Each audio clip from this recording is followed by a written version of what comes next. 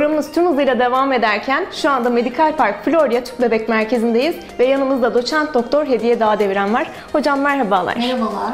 Hocam öncelikle sizleri birazcık tanıyabilir miyiz? Tabii ki. Ee, Hediye Dağdeviren ben. Ee, İstanbul Aydın Üniversitesi Medikal Park Florya Hastanesi'ndeyim. Tüp Bebek Merkezi Koordinatörüyüm. Ee, yaklaşık 5 yıldan beridir burada çalışıyorum. Ee, neler yapıyorum? Tüp bebek yapıyorum, kadın doğum hmm, muayeneleri yapıyorum, yine gebe takibi yapıyorum. Ee, evliyim, iki tane de çocuğum var. Çok güzel hocam gerçekten. Çok kutsal bir iş yapıyorsunuz. Çok güzel bir iş yapıyorsunuz. Peki bu uzmanlığı seçme amacınız neydi? Neden bu uzmanlık alanını seçtiniz? Evet, neden kadın doğum? Ee, tabii ben aslında normalde eski fizik tedavi asistanıyım. Ee, sonra kadın doğuma geçtim. Kadın doğum aşkı yüzünden geçtim. Ee, çünkü kadın doğum diğer tıbbi branşlardan gerçekten çok farklı. Ee, gönülden severek yapmanız gereken bir iş. Çünkü gerçekten bir mucizeye şahit oluyorsunuz ve e, bir kadın için gebelik özel bir dönem. Ve bu özel dönemde ona mutlaka e, can yoldaşlığı arkadaşlık yapmak zorundasınız. Ee, her anlamda artık aile gibi oluyoruz. Defalarca görüşüyoruz. Gecemiz gündüzümüz birlikte oluyor. Hele tüp bebek sürecinde bu daha uzun bir yolculuk oluyor. Neredeyse e, iki seneyi bulan bir yolculuk oluyor bazen. Artık içinizden biri gibi oluyorlar. Öyle birbirimizi çok iyi tanıyoruz artık bakışlardan. Ee, işte o gün moralim mi bozuk bir şey mi oldu? Aa vallahi doğru nereden falan yapıyorlar.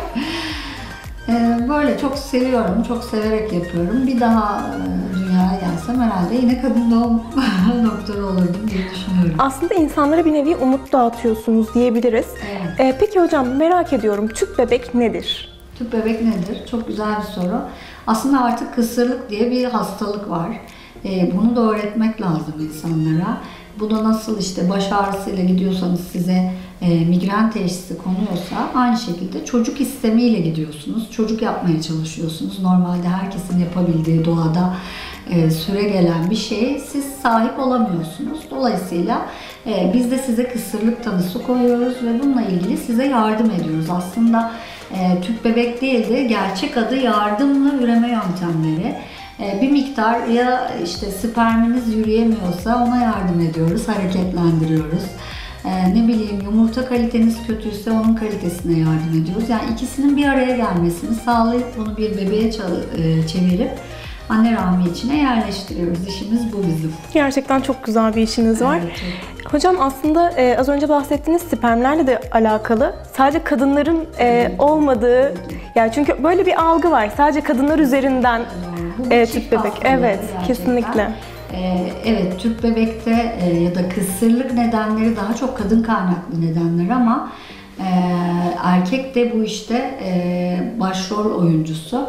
Dolayısıyla biz zaten tedaviye başlarken mutlaka karı koca değerlendiriyoruz. E, erkeği de e, spermiyogram tahlili yaptıktan sonra mutlaka bir üroloğa değerlendirip e, bu anlamda karılı kocalı beraber bir değerlendirme Bu algıyı da biraz yıkmak gerekiyor sanırım değil mi? Kesinlikle yıkmak gerekiyor. Çünkü e, artık erkek infertilitesi yani erkeklerde de kısırlık çok fazla özellikle geçirilen enfeksiyonlar e, hep söylüyorum Covid nedeniyle e, bir sürü erkekte şu an sperm sayısı çok az ya da hiç spermi yok ya da hareketi yok gibi bir sürü problemler ortaya çıkabiliyor.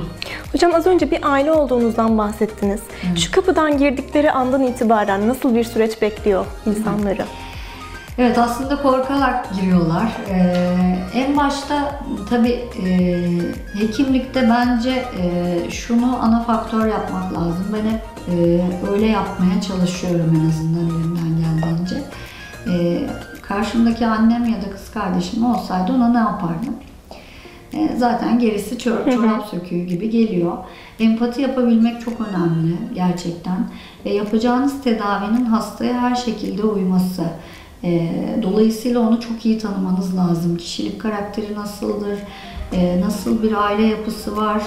E, maddi geliri nasıl? Yani hekimlik bence şu değil. Tık tık tık şunu yazdım. Onu Google'a da yazıyor insanlar. Yazıyor. Tedavi çizi çıkıyor ortaya. E, Dolayısıyla sizin yaptığınız tedavinin hastaya her açıdan uyması, hem e, sosyal yönden hem psikolojik yönden hem kültürel yönden e, yani çok dini inançları gereği çok uçuk bir tedavi yöntemi sunarsanız o hastaya olmaz. O yüzden birbirimizi bir kere çok iyi tanımaya çalışıyoruz hastayla önce. E, tanıdıktan sonra da e, onları neler bekliyor, kabaca tıbbi olarak önce bir anlatıyorum. E, sonra mali açıdan neler bekliyor, e, sosyal açıdan neler bekliyor, işte işinin ne kadar e, zamanını buraya ayıracak, muayeneler kaç kez olacak, ne kadar sürecek? Bunların hepsini tedavinin başında e, konuşmazsanız hastayla o zaman ne oluyor? Mutsuz oluyor hasta. Çünkü bu işte doğumda da böyledir. Bilinmezlik en çok korkutuyor. Yani Doğru. başınıza nelerin geleceğini bilmiyorsanız eğer aslında onam formları da oradan çıktı. Bir yanları Aslında- umut, bir yanları korkuyla dolu çok geliyorlar. tıbbi de gitmeden böyle birazcık daha hastanın anlayabileceği dilde e, yaşamını uyarlayarak, basitleştirerek e, olayı anlatmak ve onu bekledik, bekleyenleri söyledikten sonra kafasındaki soru işaretlerini çözdükten sonra iş daha kolay ilerliyor. Aslında sizin anlattığınız şey hocam ticari kaygıların yanı sıra duygusal bağla alakalı sanırım. Kesinlikle öyle, kesinlikle öyle. Yani şöyle bu işte tabii hem tüp bebek sürecinde hem de doğumda e, ben hastalara hep söylüyorum bu işte başrol oyuncusu sensin. E, çünkü senin vücudun üzerinden, senin psikolojin üzerinden ilerleyecek her şey. Biz sadece yardımcıyız. Zaten ebe demek mesela doğumda yardım eden kişi demek aslında. E, dolayısıyla başrol oyuncumuz iyi oynamazsa film Kesinlikle, kopar. kesinlikle hocam. Hocam peki başarı yüzdeleri nedir? Başarı şansı nedir tüp bebek tedavisinde? Tabii ki burada e, hastaları hep şu yönden bilinçlendirmek lazım. Özellikle e, genç kızlarımıza, e, kız çocuğuna sahip annelere e, şuradan e, bu bilgiyi sizin vasıtanızla da vermek istiyorum. E, biliyorsunuz e, yumurtalık kadında anne karnında oluşan bir şey. Yani bizim e, bir kız çocuğuna gebe kaldınız. O kız çocuğunun hayatı boyunca kullanacağı bütün yumurtaları annesinin karnında oluşuyor. Dolayısıyla bunların yenisi yerine gelmiyor. E, o yüzden e, bunu tüketim hızı herkeste değişiyor. Genetik problemlerden, e, işte yaşam tarzı, çevresel faktörler, herhangi bir hastalık, kullanılan bir ilaç. E, bazımız çok hızlı tüketiyoruz, bazımızsa daha yavaş tüketiyoruz. O yüzden bu hızlı tükenenlerin bir takım bulguları oluyor mutlaka. E, vücut bunu e, bir şekilde belli ediyor. Adet düzensizliği oluyor, adet görememe oluyor. E, bir takım başka problemler ortaya çıkıyor. Dolayısıyla e, artık yumurtalık rezervini değerlendirmek ve doğurganlığın bir kadın için ömür boyu sürmediğini e, bildirmek ve bunu öğretmek lazım kadınlara. Organlarını tanıtmak lazım, vücutlarını öğretmek lazım.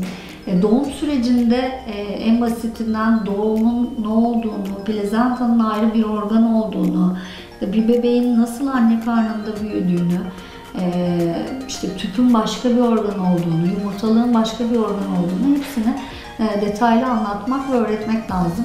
E, Kadınlara zaten öyle diyorum. Bana özellikle gebelik öncesi e, danışmaya gelenlere önce bir vücudunuzu kendinizi tanıyın, bilin, ona göre bu işe başlayın diyorum. Çünkü inanın çok farklı senaryolar ortaya çıkabiliyor. Kesinlikle. O yüzden e, zaten sağlığın tanımı da biliyorsunuz insanın bedenen ve psikolojik açıdan ruhen e, sağlıklı olması demek sağlığın tanımı. Yani tek başına bir gebeyi aldınız, takip ettiniz, e, 3,5 kilo sağlıklı bir çocuk doğurttunuz. Bu bence sağlıklı doğumun tanımı değil. E, eğer o olayın sonunda gebe e, gözlerini kapatıp doğum öyküsünü düşündüğü zaman e, iyi kareler gelmiyorsa aklına o zaman çok başarılı olduğunuzu düşünmüyorum. Maalesef ki çok bilinçsiziz bu konuda toplum olarak. Çünkü e, hamile kalınca kadın doğum mi? uzmanına başvurmaya şey yapıyoruz. Ama en başından itibaren yani ergenliğe girmek girdiğimiz andan itibaren başlıyor sürecimiz değil mi hocam? Mutlaka aynen öyle. Aynen öyle. Peki hocam e, başarıyı arttırmak için e, çiftlerin yapması gereken şeyler var mı? Tabii ki var, tabii ki var. Özellikle şunu söylüyorum, bir kere stres her şeydeki gibi bunda da çok etkili, başımızın belası. Mutlaka sağlıklı beslenmek, düzenli uyumak, e, sporu hayatınıza sokmak en azından o evrede. E, bir takım e, işte beslenmeye çok dikkat etmek, özellikle yapay gıdalardan uzak durup daha çok protein ve koyu yeşil yapraklı sebze ağırlıklı beslenmek e, bu anlamda çok önemli. Ama yine işin başı geliyor, hep strese dayanıyor. Kaygılarımızı bir kenara bırakalım. Bunu bir ödev gibi, geçici bir süreç olarak görelim. E, Mesela hastalara gebeliği anlatırken de ben böyle anlatıyorum. Bu hayatınızın özel bir dönemi. E, Dolayısıyla bu özel dönemi iyi geçirmek için biz size destek olacağız. E, tabii ki ne yaparsanız yapın yüzde onu toplumda yani gebeliklerin yüzde onu bir şekilde komplike oluyor. Bir şekilde bir problem ortaya çıkıyor ama yüzde doksanı sağlıklı gidiyor. Dolayısıyla yüzde doksanı sağlıklı giden bir şey için sizce 9 ay boyunca acaba bir şey olacak mı? Acaba bir şey olacak mı? Hani demek Kötüyü çekmek de, de deriz değil. aslında.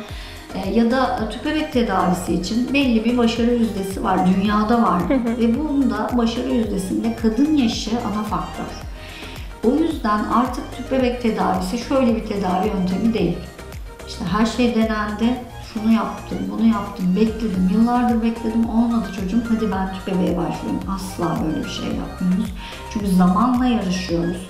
Çünkü 25 yaşındaki bir kadının tüp bebek başarı yani bir kadına zaten tüp bebek yapacaksınız. Bakın indikasyonu tartışmıyorum.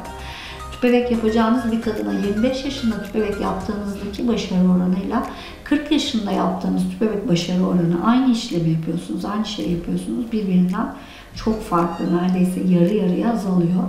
Dolayısıyla erken başlamak Dediğimiz gibi yine bilinçsizlikten kaynaklı. Çünkü erken tanı aslında birçok şeyin çözümü olabiliyorken insanlar çözümsüzlüğe sürükleniyor. Eskiden zor ulaşılabilir bir yöntemdi. Zordu, daha pahalıydı ama inanın şu anda dünyadaki en ucuz tüp bebeği Türkiye yapıyor. Neredeyse en ucuz tüp bebeği yapıyoruz. Ee, ve çok kolay ulaşılabilir artık. Ee, hem bilgiye çok kolay ulaşabiliyor artık insanlar hem de hekime. Ee, dolayısıyla ertelememek lazım. Hayallerinizi ertelemeyin lafı aslında burada çok geçerli. Ee, çünkü ım, başka bir şey ve şöyle yapmak bence insan doğasında e, problemleri e, hep beraber değil de sıraya koyup çözmek ve mutlaka doğru sıraya koymak. En acil işi en başa almak, sonra Kesinlikle. devam etmek başarıyı arttırıyor.